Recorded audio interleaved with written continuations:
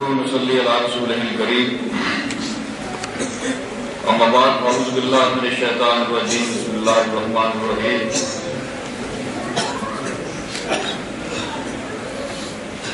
عرص پاک کی مقدس اور بابرکت محفل کے جملہ شروکار اور سجادہ نشین، پیر سید محید محبوب صاحب مدل اللہ العالی،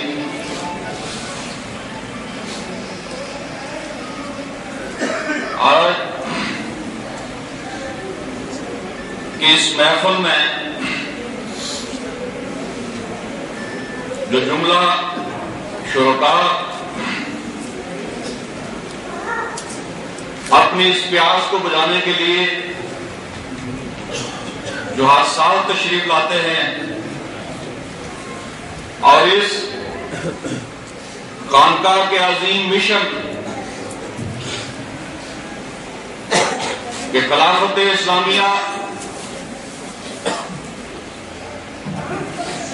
کے قیام کے بغیر امت مسلمہ کے مسائل کا حل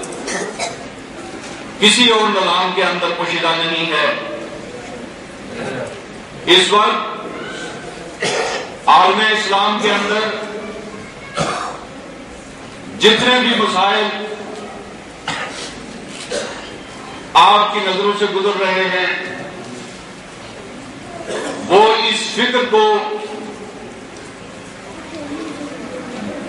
جو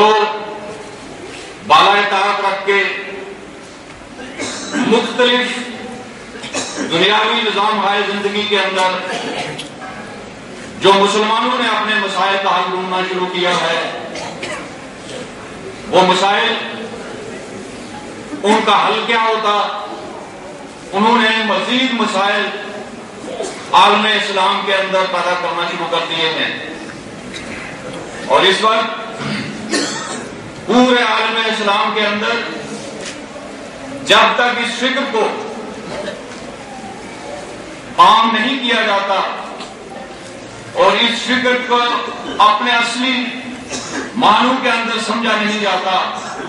اس وقت تک پورے عالم اسلام کے اندر یہی افراتفری اور انتشار کا شکار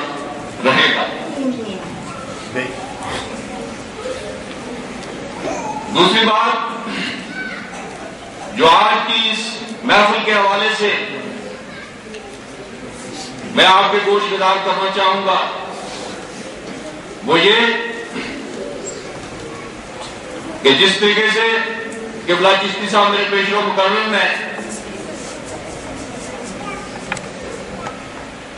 ایمان اور اسلام کے سلسلہ میں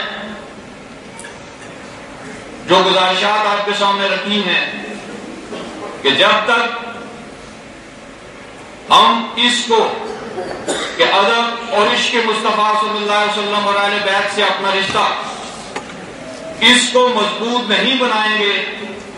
اس وقت تک ہمیں اسلام کی اپنے اصلی معنویت کے اندر جو ہے نا وہ سمجھ ہمیں کبھی بھی آ نہیں سکے گی۔ تو آج کہ اس محفل کے حوالے سے اپنی اس تعلق کو مضبوط کرتے ہوئے اس خانقاہ کے اس مشن کو کہ پورے عالم اسلام کے اندر خلافت اسلامیہ اس کے قیام کے لیے عملی جدوجہد اور اس کے فکر کو آگے لے کر چلنے کے لیے آج ہم علم کر کے اپنی اپنی گزارت کے مطابق جب تک اس کو آگے لے کر اس فکر کو نہیں چلیں گے امت مسلمان کے اندر اسی طریقے سے انتشار اور انتظار وہ پھیلتا رہے گا اور اپنے دین اور ایمان کو مضبوط بنانے کے لیے اس خانقاہ کے ساتھ اور خانوادہ اہل بیت ان کے ساتھ اپنے رشتے کو، اپنے تعلق کو مضبوط بناتے ہوئے اس مشن کی تکمیل کے لیے ہمیں آج سے تجدید عائد کرتے ہوئے اپنا مشن جاری و ساری رکھنا چاہیے۔ وما علینا اللہ